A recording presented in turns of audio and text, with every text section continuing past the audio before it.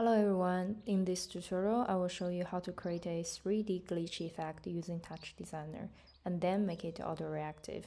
The effect can adapt to different audio inputs and the visual will also look different when you apply different textures, uh, either it be images or videos and then you can play around to see which medium suits you best.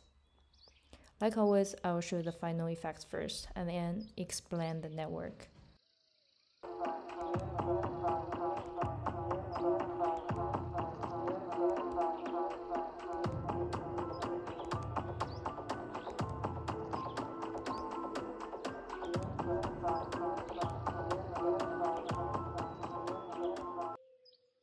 Now let's understand the network. For mm. network, I'm structuring it into three parts. The audio part, the 3D object part, and the post-rendering of the 3D object.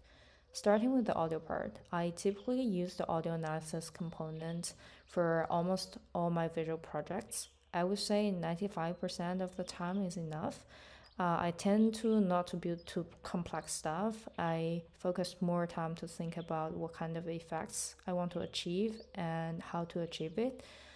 I also think when you work with clients, you don't necessarily need to detect all the things by yourself. Uh, oftentimes, clients will give you the terms to work with, and you just need to think about the creative vision and the visual aspects of it.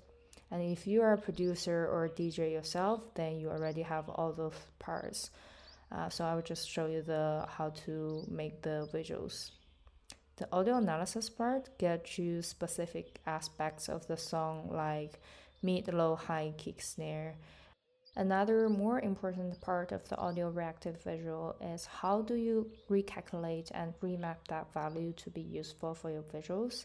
And later I'm going to show you the common operators I use uh, to change the audio values.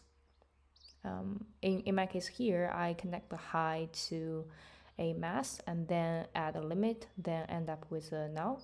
And for the kick, I add to a, a lag and then connect it to a null. Uh, the common operators I often use are noise, pattern, and LFO, also math, lag, filter, and limit. These are two sets of operators. These three generate values for you, so you can use it to drive some base movement of the visuals. And these four are used to uh, remap or recalculate the values it gets from audio analysis. So in this case, I just duplicate here to show you how it looks like. So we connect our high to all of our four inputs. And then we can add a trail to see it more clearly. Um, we'll connect the first two. Start with the first one, the math chop allows you to remap the values to fit your needs. For example, if you want to standardize the value input um, from whatever range to 0 to 1, you can use math for this. After you standardize the range from 0 to 1, you can also use math to scale. So for example, to specific value uh, from 0 to 1 to 0 to 10 or 3 to 5, uh, whatever range fits your visual needs.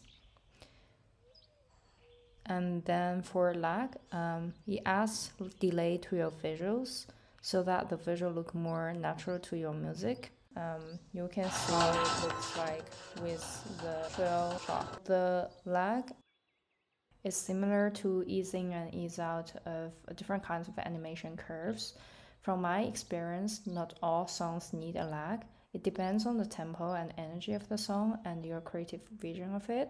And normally, for faster songs with high BPM, I tend not to use a lag since it's already uh, quick and if you add a lag there, I find the visuals to look uh, sluggish or disconnected.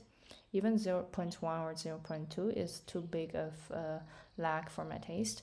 But again, uh, based on the piece, you might want to use a lag to get a more natural feeling uh, animation. And for the filter, so you can see the filter smooths out our original input uh, it doesn't lose any value it just averages them It what gives you a more smooth value and continuously look And then for the limit, uh, for the limit, you can use it to clamp the values to a specific range or use it to filter out some of the values. For example, use the different types here. Limit it to a specific range. You can also use the quantize quantize here. If you apply value step of 0.2 instead of getting the whole range of the values, you will lose some of them and you will get the jumps in the values. For example, if I put 0.2, I will get values multiplied by 0.2. Uh, in this case, you see, maybe I remove these two. Just see the original and this one. It will add jumps and jagged filling to our visuals and whereas filter just smooths out the, the visuals.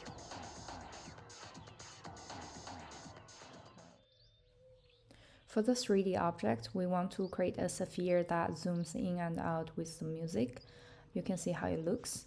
And then how to create this is that we need to use a sweep SOP. Uh, the sweep SOP allows you to create a 3D object easily by taking two inputs. The first is the 2D profile, and the second is the path or the backbone of your 3D object. So in my case, I'm using a circle as my base and I'm using a line to move my circles around to create this sphere. To create the moving line, I use a noise to generate three channels of random numbers, only used one channel here. And then I turn the random numbers to points with the add SOP and then add to a trail so that it connects, uh, convert our points to a line. Uh, you see my circle is in the z-x plane and it moves along the y. Uh, so we get this sphere. And to render the 3D object, we need uh, a camera, a render, and a constant for the texture. For the texture, you can either use a picture or a video. And for this uh, effect, I would say the video will give you a more dynamic You can look. also add that dynamic to your image by adding a ramp here and animate the image. For the ramp here, you want to add expression absTime uh, seconds. Uh, you can slow it down by dividing by 10. So you will have this uh, slow moving filter to your image. After the texture, let's move the camera. To move a camera, you need to do three things. The first is define the camera path. Where should our camera moves? Second is move our camera along the path with the help of chop operators. And then finally, control where our camera looks at, the camera angle. And then click the camera panel, you can see uh, I'm using the path, chop the reference of our circle here to, to the path and use the chop to drive the position and use the null to drive the angle and what the null does is make your camera always look at the geometry. You can get the null from the component here. Okay, it's empty thing and if you chop it in the look at you will always make your camera look at the geometry for you to see it more clearly you click the split panel and then uh, in the second one you click geometry viewer so you can see the camera view and this purple path is our camera path. To see the uh, path, you need to open the template here. You should be able to see the camera alongside the pass. For some reason, my camera is hidden. If you know the answer, please let me know. It would be very helpful. You should see yours along the path. When you move the position here, you should see your camera moves along with this path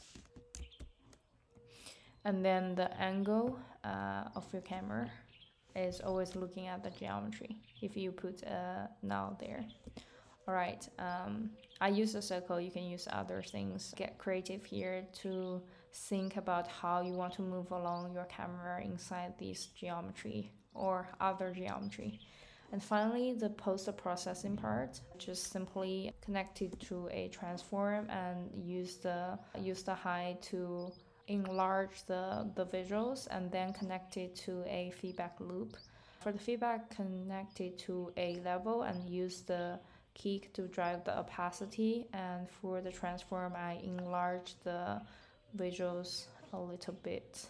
So you will get these trading looks trailing looks. Um, yeah.